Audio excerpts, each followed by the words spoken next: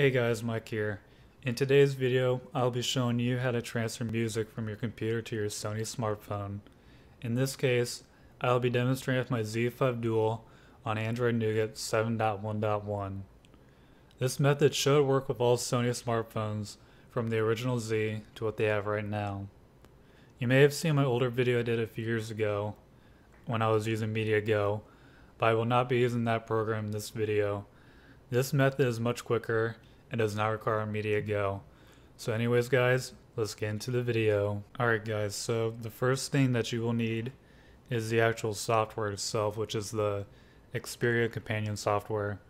Most of you should have it by now, but I will have a link down there in the description for those who need to download it. Alright guys, so once you have the software downloaded and you have it loaded up, um, right now let's say please connect your Sony Xperia to the computer with a USB cable. So right now you want to plug in your phone with the USB cable.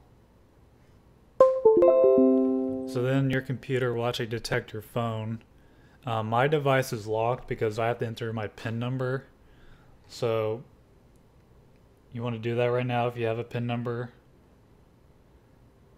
Okay, so once it unlocks, um, you should see a box that comes up on your phone that says use USB 2 and there'll be like three options that say charge this device, transfer files, and use device as MIDI.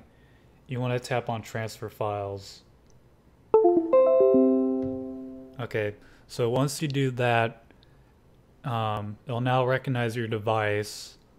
Um, you, you also want to make sure it's up to date too with the software. So now you want to click on right here where it says manage your media. You want to click on music to Xperia. Okay, so you have three options of getting music. There's My Folders, iTunes, and MediaGo. My old video I used MediaGo, but in this video we'll be using My Folders. Okay, so right here, um, I had to cut the video real quick.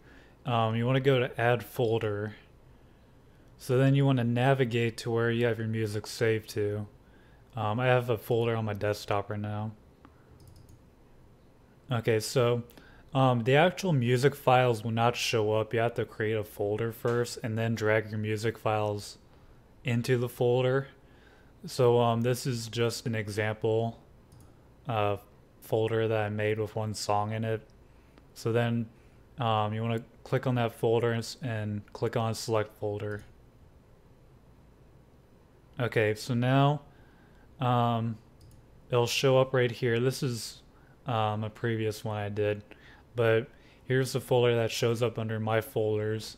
So now you want to go down here and click transfer. Okay, so now what I just did was I transferred that music folder to your phone. So now it says music to Xperia completed. And it just says it's completed. So then click done. And then you want to go to your phone. Um, I actually use the default music app on my phone and then you just want to go to songs and then you'll just scroll through the list and your song should show up there. Um, so yeah that's that's just pretty much how you uh, get music onto your phone from your PC um, like I said earlier this method is much easier in, in my opinion from the MediaGo um, less steps involved. So yeah it's, it's, a pretty simple method overall and I've been meaning to make this video for a while now. So um, if this video did help um, be sure to drop a like down below and um, I'll see you guys later